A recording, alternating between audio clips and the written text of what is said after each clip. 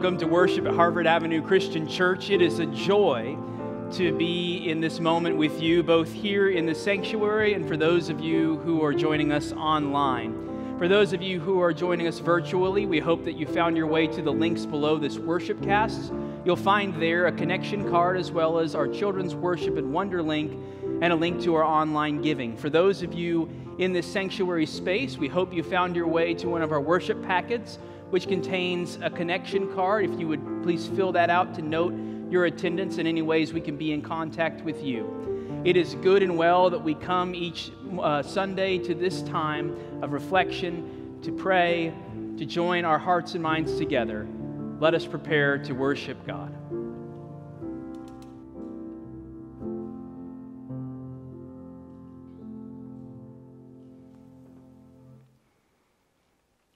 We come to a time of prayer this morning, I hope that you have made note of the names in our Sunday worship email, friends and family in our congregation that we invite your prayers for this week. We know that you bring many prayers with you as you come to worship today. So I hope that you have used the connection card either in your worship packet in the sanctuary or in the link below the video at home so that we can be in prayer with you and for you in the days and weeks ahead. We're so grateful to remain connected in these ways, even while many of us remain apart. As we come to prayer this week and we consider our theme, fasting from bitterness, as part of our different kind of fast, I would invite us into a moment of silent prayer, and then I will pray for us together. Will you join me?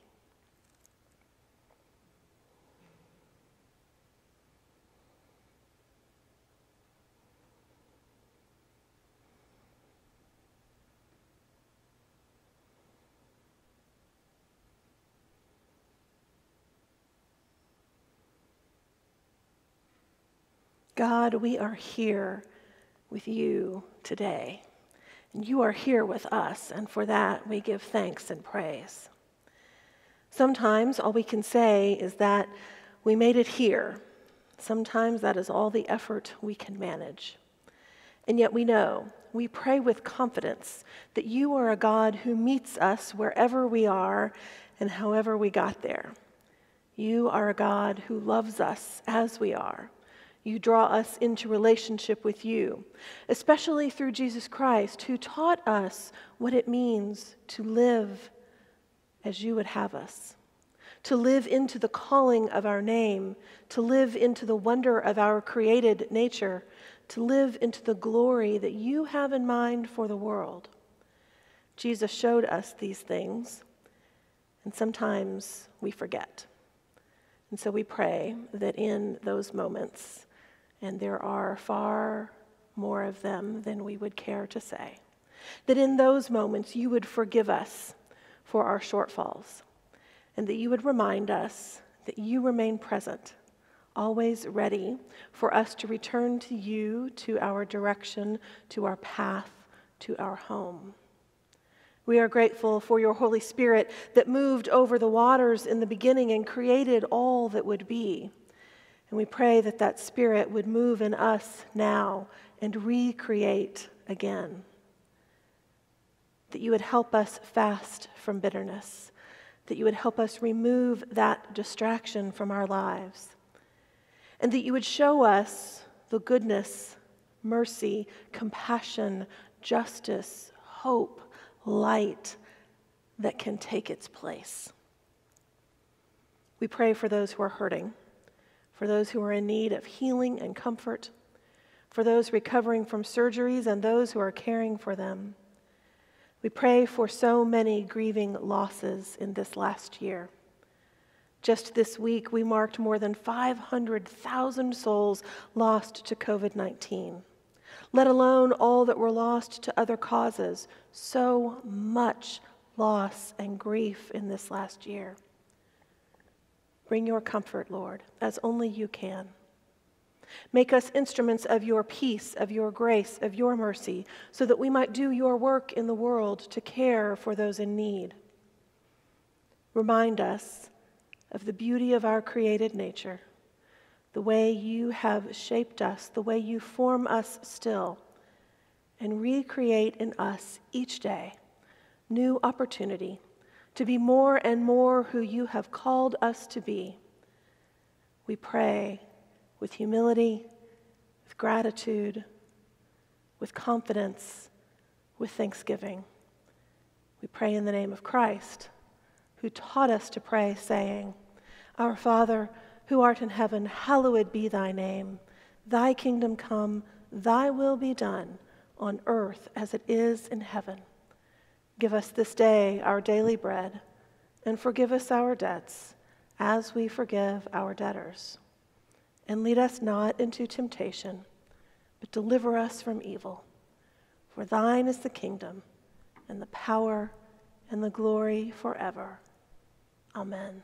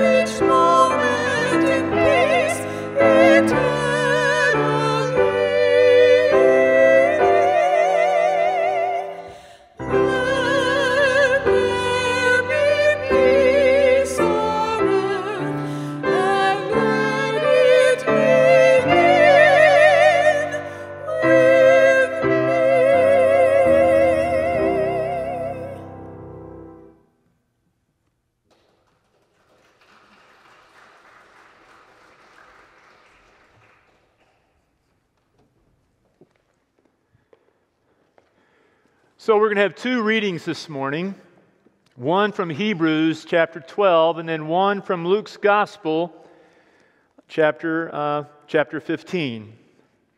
The first reading, chapter 12, verse 14 of Hebrews. Make every effort to live at peace with everyone and to be holy. Without holiness, no one will see the Lord. See to it that no one falls short of the grace of God and that no bitter root grows up to cause trouble and defile many. See to it that no one falls short of the grace of God and that no bitter root grows up to cause trouble and defile many. Now we're going to read the last part of a very familiar story to us the story of the older brother and the story of the prodigal son. Verse 25, chapter 15. Meanwhile, the older son was in the field, and when he came near the house, he heard music and dancing. So he called to one of the servants and asked him what was going on. Your brother has come, he replied, and your father has killed the fattened calf because he has him back safe and sound. The older brother became angry and refused to go in. So his father went out and pleaded with him, but he answered his father, Look, all these years I've been slaving for you and never disobeyed your orders. Yet you never gave me even a young goat so I could celebrate with my friends. But when this son of yours, who has squandered your property with prostitutes, comes home, you kill a fattened calf for him. My son, the father said, you are always with me, and everything I have is yours. But we had to celebrate and be glad because this brother of yours was dead and is alive again. He was lost, and he is found. This is the reading of God's word, and God's people did say.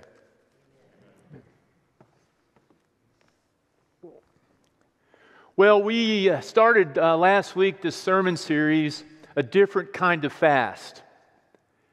And what we're talking about this whole Lenten series is giving up different things than we would normally give up during Lent.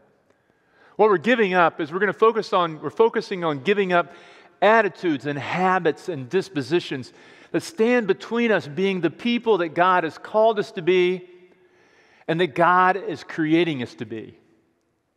You see, it's an opportunity. I don't think that Lent is necessarily a somber, sad season, but it's really an opportunity. And we should be glad because God gives us this season every year to do a deep dive into our hearts, into our lives, to really examine ourselves and to think about the things that we want to change and what we want to add to our life so that we can live into being the best versions of ourselves that we can be allow me to remind you that God is deeply invested in you and in your life. God cares about you, God loves you, God is for you. And God doesn't want you to do this work on your own. God doesn't say, hey, go fix your life, go get to this work, and when you get it all done, come back and give a report. No, God says, I'm patient with you and I'm with you. Invite me in and we'll do the work together. You know, you may be tired right now, but God never gets tired. You may feel like you don't have the power to make the change in your life that you want to make, but God does have the power, it's unlimited. And you, at this point in your life, as you face the things that need to be changed, you may be thinking, I give up. But God will never give up. And that's such good news because today we're going to need some help. Because there is something in your life, in my life, that has a grip on every, every person in this room. It touches your life, and it touches my life, and it's one of the big things that provides a huge barrier between us and experiencing the fullness of life that God has for us. And it is bitterness the grip of bitterness. I'm reminded of a story I heard from an old preacher some time ago. It was about a man who uh, went to the hospital because he wasn't feeling well. He had been bitten by a dog, and they discovered that the dog was rab- ra- had rabies. So he goes into the hospital, he checks in, and they do the test and they find out indeed this man does have rabies. And unfortunately, at the time, there was no medical procedure, no medical answer to the problem of rabies. And so the doctor who was treating him had the unfortunate task of informing him that there was no cure. So he looked at the man laying there in the bed who had been diagnosed and said, I'm sorry, sir, to tell you, there's nothing we can do for you. My advice for you is that you need to get your affairs in order. The doctor left the room, and when he returned, he found the man in there, and he had a pen and a paper, and he was writing vigorously on this paper. He was working so hard. And the doctor looked at him and said, I'm glad, sir, that you're taking this seriously. Are you making out your will? And the man looked at him and said, No, doc, not at all. I'm making a list of all the people I'm going to bite when you let me go. now, I, I will tell you, I almost didn't want to tell the joke because it's, a ba- it's just a bad preacher joke, but I tell the joke because it's true. That when we hold on to resentment, that anger and that resentment will fester into bitterness and it will make us angry, biting, bitter people. Bitterness is unforgiveness that is fermented. Bitterness is unresolved pain and anger and frustration. It's what grows inside of you, inside your inner being, when you don't treat it and you don't release it and you just nurse it and you hold on to it. Now, that story we just read, so often we don't read the last part of the story because we focus all of our attention on the younger brother in the story. He's the one that gets all the views. Younger brother runs away from home. Younger brother squanders his father's inheritance. And what is the inner disposition of the younger brother when he returns home? He cowers back to his father and he is carrying shame. Shame is that part of you and me that keeps us at distance from God, that says, I'm not worthy of your love. Treat me like a slave. But when he goes home, because the Father is loving and filled with grace, and even though his reputation has been sullied, he welcomes the man back and says, No need for shame. I love you. You see, that's who God is. God is a God of grace and love. But the older brother wants nothing to do with it. The older brother has never left home. And from the moment his younger brother left, he's been carrying anger inside of himself. And now, when his brother has returned and he hears the music, he, he hears the party, all that anger and all that resentment just comes boiling over and spilling out of him. And listen to him. He doesn't refer to him as his brother, that son of yours. And why is he bitter? Dad, I've been working for you all these years. And you show love to him and no appreciation for me. And in the story, who is bitter? This older brother. And this is the story of two lost sons, but one son is found, and the story ends with the older brother bitter and separated from the love and the grace of God. You, you see, bitterness, bitterness not, doesn't want to just move into your heart, it wants to take over your heart. And when it metastasizes, it sours everything it touches. Bitterness will keep you trapped in the past. Bitterness will prolong your pain. Bitterness will skew your perceptions. Bitterness will blind you to all the good that's going on around you. Bitterness will erode your trust, and bitterness will ruin your relationships. The love chapter, 1 Corinthians chapter 13, verse 5 says, Love does not have resentment. Love is kind, and love does not resent others. But another translation of it says that love does not keep a record of wrongs. But what happens? This is, we all do this. When we're hurt, what we do is like we got this big imaginary file cabinet in our life, and we get hurt. Instead of releasing it, we file it away we file it away. We file it away. And then before long, we got this whole huge filing cabinet, a record of wrongs that have spilled and spoiled and turned into a festering bed of resentments. And you want to know what I see in my counseling with couples who are going through marital trouble? The, one of the biggest factors why their marriage does not survive or they're living in a miserable marriage for years, it's because of the bitterness and the resentment that they filed away and have not dealt with it.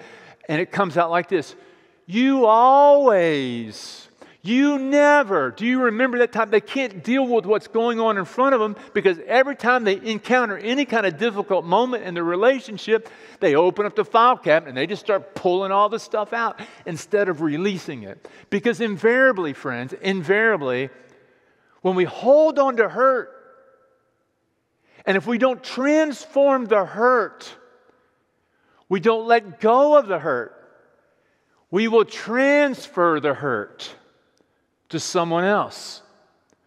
Hurt people hurt people.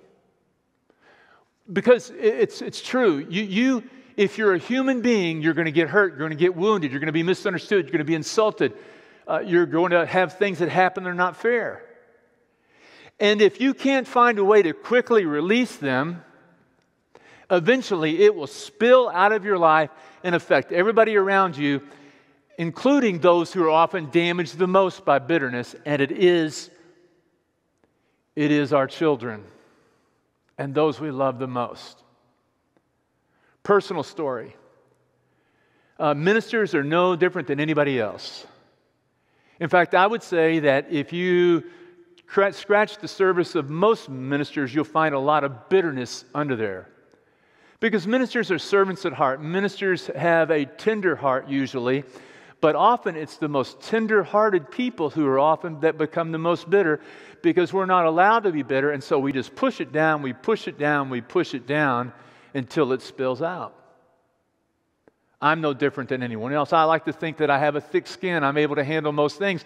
But over the last few years, I've had a critic, a, a constant critic. Most everybody's encouraging, most everybody's loving, most everybody's kind. But you can't lead any organization or be a, a, a pastor without having a critic. I had a critic. Every few months, he would send me an email. Every few months, he would send me a letter. And oftentimes, in the criticism, it was well founded and helpful. But it was the tone of the criticism that hurt. It was the lack of the criticism and the grace, and it was what how he saw me and the way he treated me. And for a long time, I, I just, I just, I just tried to let it go. I had conversation with the individual. I sat down and talked with the person, but nothing ever changed. I never got a pat on the back. I never got anybody say, hey, we appreciate all the good things that you do. Just always, every time, full on negativity and criticism. It got to the point that whenever that person was in the room on a Sunday morning, we'd have 300 people in the room. This individual would be sitting at the back of the room with his arms like this, head down, disapproval. When I left, I said thank you and I said goodbye. And then last week, David Emery, your preacher, stood up here and said, Be quiet. And it was a mistake. Because when I got quiet last week and sat down, I realized that he moved here with me.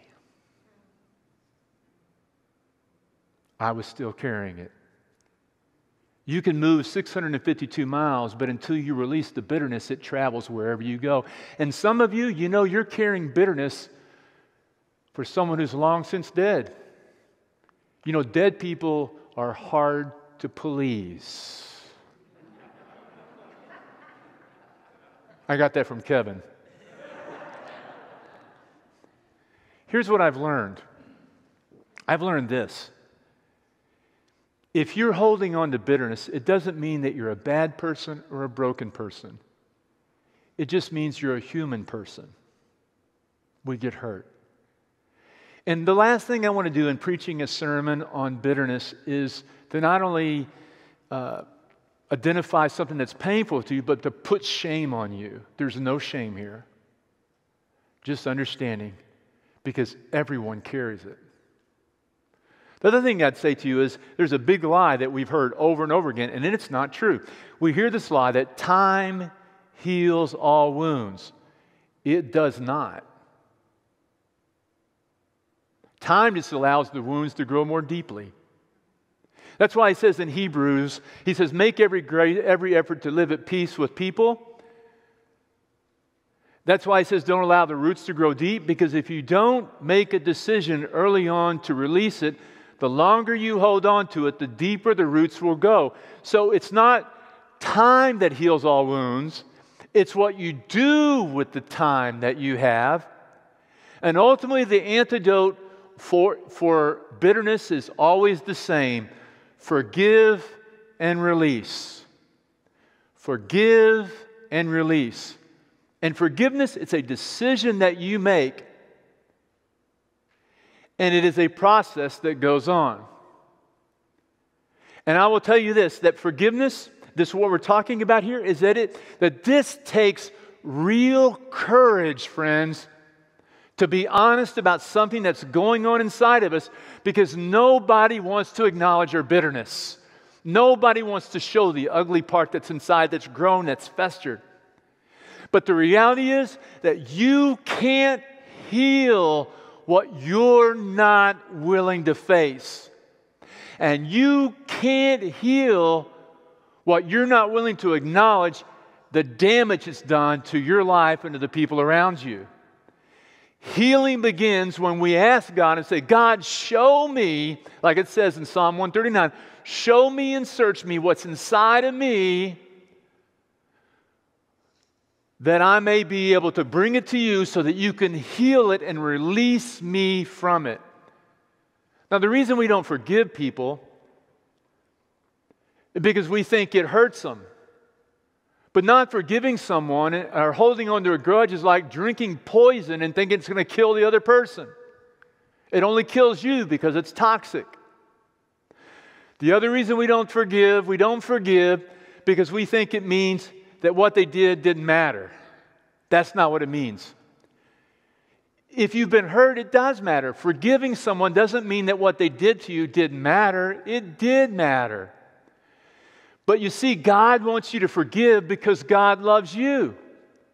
It's not, ju- it's not just that God wants you to release the person that's hurt you. It's that God knows that you need to release the person because it helps you. And the reality is that you got people in your life, I've got people in my life that will never want, they don't even know they did anything wrong to you. They don't care that they did it, and they don't want forgiveness. They don't care, they don't care about you. You're not forgiving for their benefit, you're forgiving for your benefit because you need to be released from it. You need to be set free from it because you've been hurt once. Why continue to be hurt again and again and be trapped in the pain and hurt the people around you and let that pain be collateral damage? You want to know what's easy to do? It's easy to hold on to hate. It's easy to hold on to hurt. It's easy to become bitter. You know what's hard to do?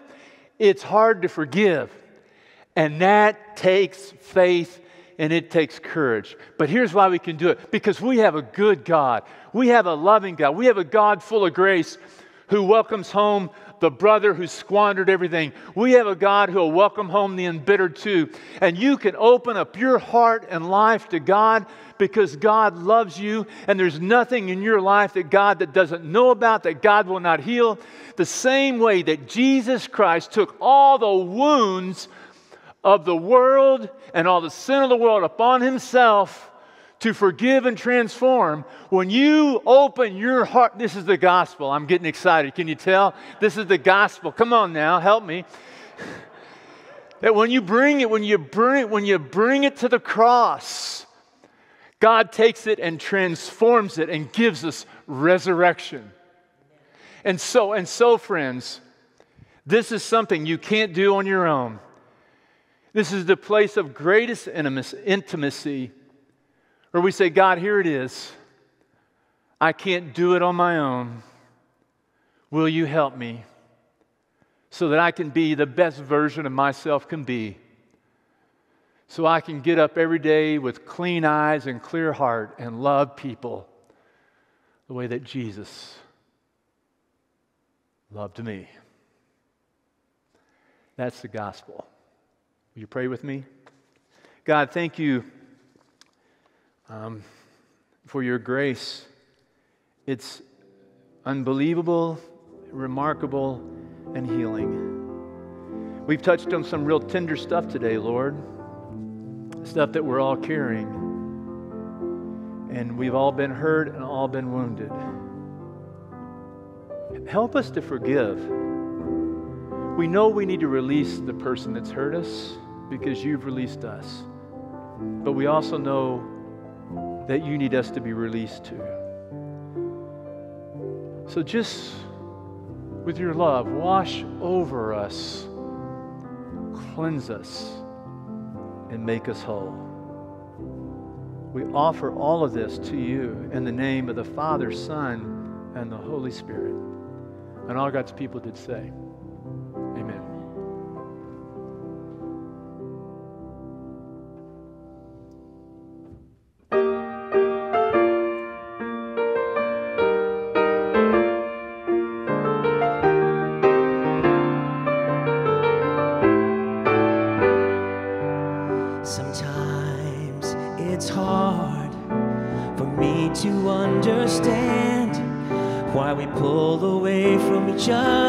so easily, even though we're all walking the same road.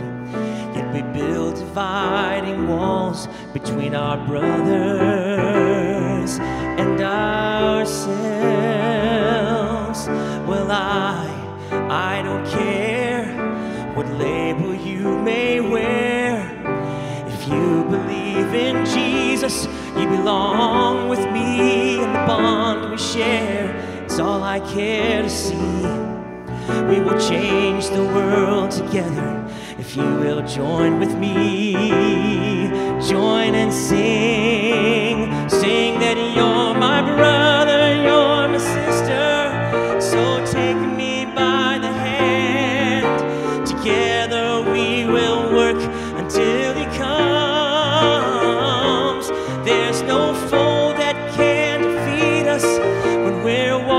side by side. As long as there is love, we will stand. The day will come when we will be as one, and with a mighty voice together we will proclaim that Jesus, that Jesus is King. It will echo through the earth, it will shake the nations, and the world will see, see that you're my brother, you're my sister. So take me by the hand, together we will work until he comes. There's no foe that can defeat us when we're walking side by side.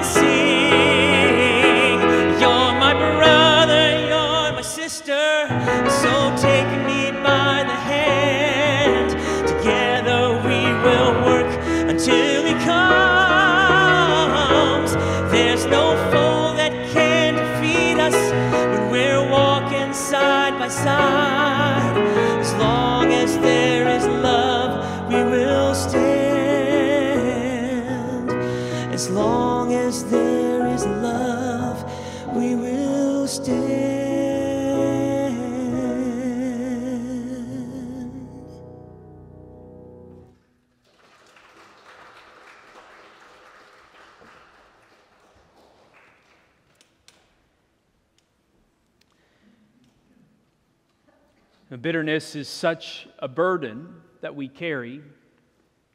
Unfortunately, it's not the only burden that we carry.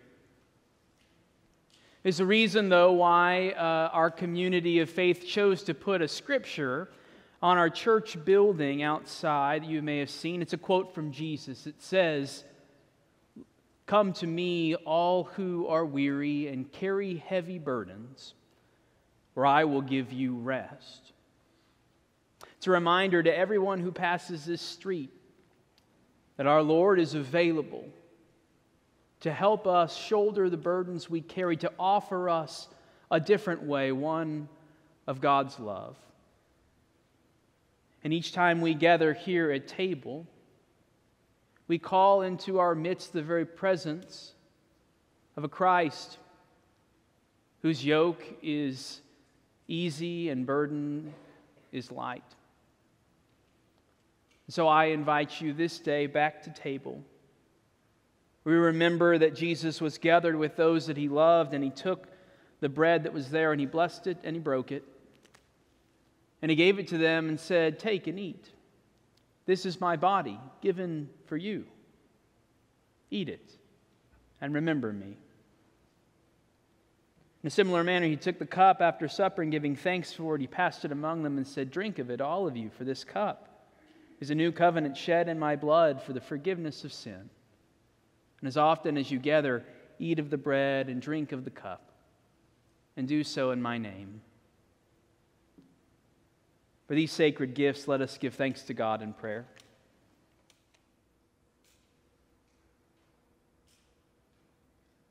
God, we are grateful for the bread and cup to draw us closer to you. As this is an act of connection, we have heard that bitterness is an act of separation, keeping us from the abundant life you want for each of us. Help us then to follow Christ to choose joy, and to release bitterness. Amen. Friends, this table is hosted by Christ, and all who believe are invited to participate in the sacred meal. May, in the breaking of the bread and the outpouring of cup, may you find the presence of the one who eases our burdens. Thanks be to God.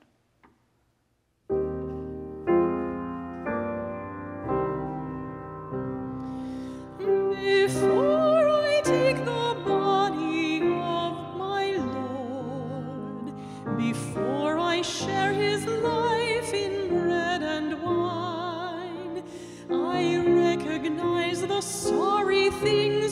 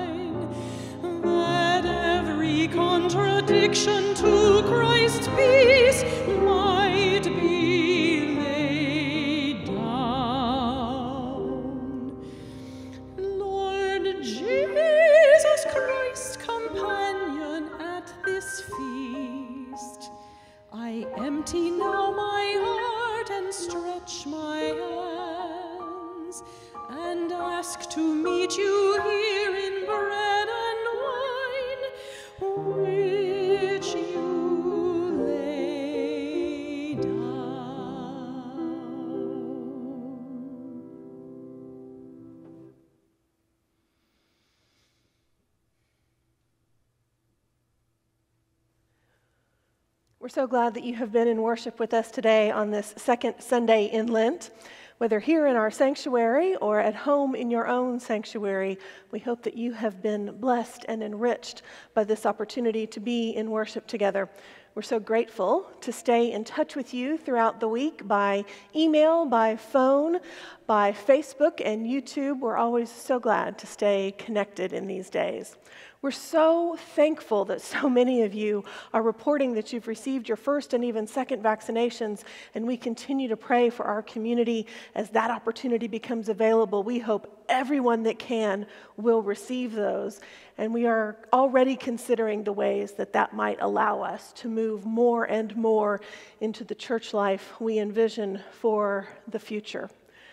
We also want to remind you, as our health authorities have reminded us, that even while we are vaccinated, we practice precautions. So as you leave the sanctuary, we hope that you will watch your distance from those around you, move all the way out into the parking lot, and take some room to greet each other out there. We hope that wherever you are today or throughout the week, you will be prayerful for your church community and you will share with us the ways that we can pray with and for you. As we leave worship today, we draw our attention to our Lenten symbols. Last week, we started with the purple cloth for the royalty of Christ the King and also for the season of penitence and reflection. Today, we've added a basin and towel, reminding us of the servant nature of the Christ we follow. One of the many ways that we name and remember the one who calls us to serve in the world. We come as followers of a humble servant, and we try every day to love like Jesus. Go in peace to be those servants in a world that needs you. Amen.